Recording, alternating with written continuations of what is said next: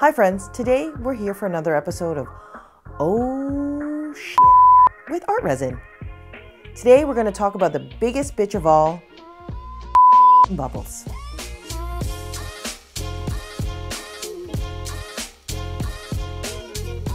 Bubbles happen for a whole host of reasons. Today I'm going to talk about the two most common reasons bubbles may crop up. First off, we're going to talk about organic wooden surfaces. Wood by nature breathes, so anytime you're going to cover something that's breathing, it's still going to want to release some air.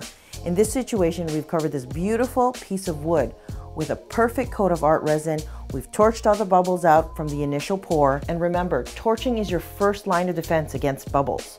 And we came back the next day after a touch dry cure and we've discovered tiny little air bubbles that have cured into the resin. I'm going to tell you how to fix this problem. So you're going to want to take a piece of 80 grit sandpaper. We like to use 80 grit because resin likes to have some tooth to adhere to. You'll take your piece of sandpaper. You're actually going to want to sand the entire piece down because the rougher the surface, the better the adhesion of the next coat of resin. But then focus on the areas where the resin bubbles have cured. So we're going to do that and sand. Now when you sand your piece down, it's gonna look gross and nasty and totally scuffed up. But once you add a second coat, it's gonna be perfectly crystal clear. And then we're gonna take a wet paper towel and wipe off all of the debris. This is an important step because you wanna make sure that your surface is absolutely pristine before you add your second coat. And now we're gonna talk about bubbles in paper-based products, more specifically photo paper. On occasion, there is a reaction between the photo paper, the resin, and adhesive. And tiny little microbubbles, basically it's off-gassing, will form as the piece is curing.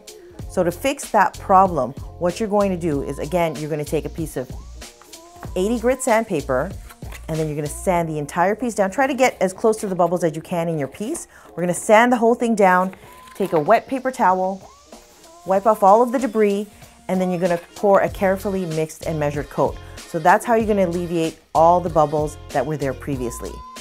In order to prevent this from happening again, you're gonna take your photograph, you're gonna adhere it to your substrate, and you're gonna wanna pre-seal it. We use a product called Glamour 2 for anything that is photo-based. So then you're gonna pour a carefully mixed and measured coat of ArtResin. And don't forget to torch every single time. So this same technique will apply to an organic wood surface.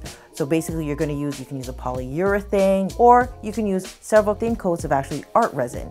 You want to pre-seal your piece. So then you're gonna lock in all the air that's, you know, settling underneath the wood. And then once that's perfectly dry, you can pour again a carefully mixed and measured coat of ArtResin. Of course, we're going to torch the bubbles out and you should have a perfectly crystal clear bubble free finish. So if you're ever in doubt, we always recommend to pre-seal all your surfaces, be it wood or any paper-based surfaces. Pre-seal, pre-seal, pre-seal.